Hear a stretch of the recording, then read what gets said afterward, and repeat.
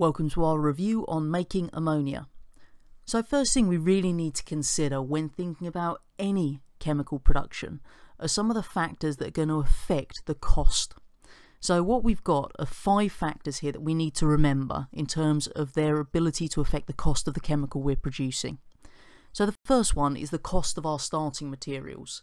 Obviously different materials cost different amounts. Now if we're going to be using expensive materials, then the end product is going to be expensive. One way we can reduce the costs is by recycling any of the materials that are unreacted and feeding them back into our system. Second factor is the cost of the equipment needed. If we need complex machinery or we need to keep it at high pressures, high temperatures, anything along these lines, then the machinery's got to withstand those conditions.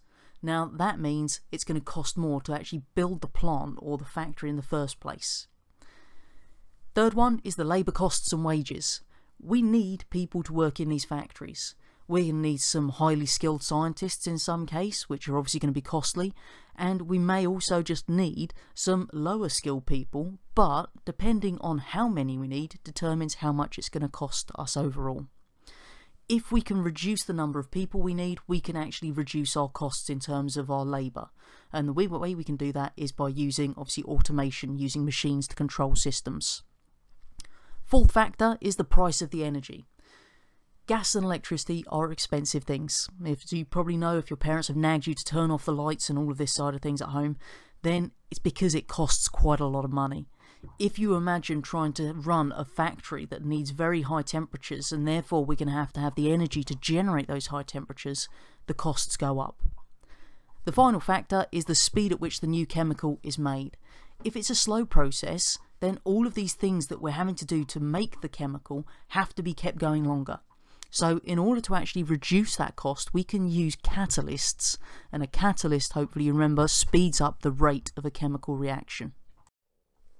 The chemical we're going to be looking at over the next couple of reviews is ammonia. So ammonia is a gas with a very sharp smell and we tend to use it in cleaning fluids and the reason behind that is that it reacts with grease making it very easy to remove for us. We can also use our ammonia to make nitric acid and fertilisers which obviously allow us to grow higher yields of crops. Now, the reason that we're going to be using these fertilizers is because as our plants take up minerals in the soil, then when we harvest those crops, we're going to be removing the minerals from the soil.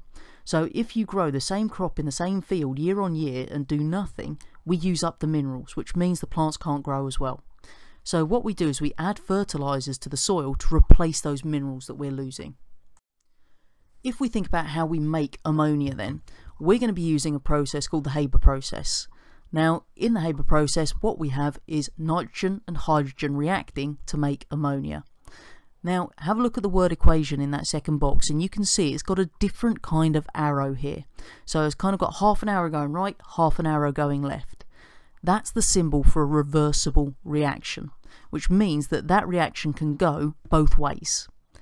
Now, in terms of where we get our nitrogen and hydrogen from, hydrogen gas comes from cracking oil fractions, or from natural gas. And our nitrogen just comes from the air because remember, we have 78% of the air that we breathe in as nitrogen. To be able to make ammonia, we need certain conditions. We need a high pressure, we need a temperature of around 450 degrees centigrade, and we need an iron catalyst. One thing that we are going to do to reduce the costs of producing our ammonia is that we're going to recycle any of that unreacted hydrogen and nitrogen.